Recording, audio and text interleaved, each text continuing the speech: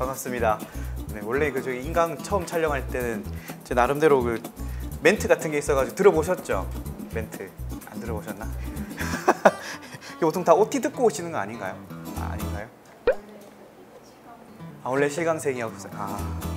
그 칠판에다가 하나하나 이렇게 정리를 어, 이쁘게 해드립니다. 그럼 여러분들이 이제 필기를 이쁘게 정리를 딱 하셔가지고 아 요건 내가 나중에 따로 공부를 해야 되겠다. 정리를 해가지고 다음 문제가 나왔을 때 맞춰야 되겠다 할 수 있도록 여러분들에게 칠판 판서 강의를 어, 일부 진행하겠습니다.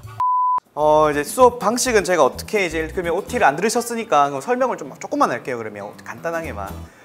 그 아시다시피 이 수업 이 수험이 그 시험이 그 공고나기를 수능형 문제로 내겠다라고 해서 제가 이제 박노한 교- 교수님 이제 부탁을 받아가지고 제가 이걸 집중적으로 해드리기로 하고 제가 이 현재 기출 내었던 이 모든 기출 문제를 다 분석을 했어요. 고등학교 2학년 학력평가 문제가 보이시죠? 이 같은 교육청 문제인데 생명과학 원 문제에서 출제됐던 이 그림이 2018년 시험 문제에서는 그대로 가지고 와서 출제를 한 모습이 보입니다. 심지어는 여기 선지를 보시면 기억번 가는 물이 첨가되는 반응이다. 여기 보시면 2번에 가는 물이 첨가되는 반응이다.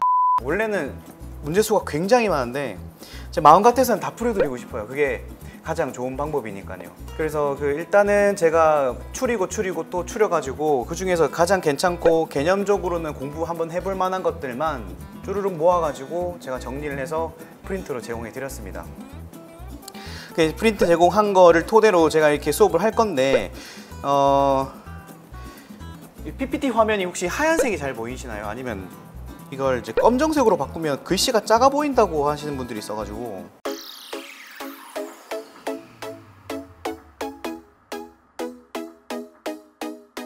그리고 그 설명을 할 때 문제를 쭉 풀어 나가는 것보다는 중간 중간에 설명 같은 게 필요하면은 또는 개념이 필요하면은 그걸 먼저 설명을 해드리고 그 설명을 토대로 해가지고 어, 이제 또 문제를 풀 건데 만약에 하시다가 아 난 전 잘 모르겠는데. 난 그냥 저거 설명하는 거 보니까 난 저 잘 모르는데 그냥 지나가는 것 같다라고 느낌이 오시면은 저한테 간단하게라도 사인을 좀 주세요. 아니면은 표정을 찌그러 주셔야 되고요.